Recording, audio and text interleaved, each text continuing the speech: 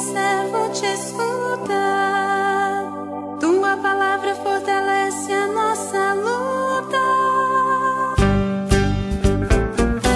Aleluia, aleluia, aleluia.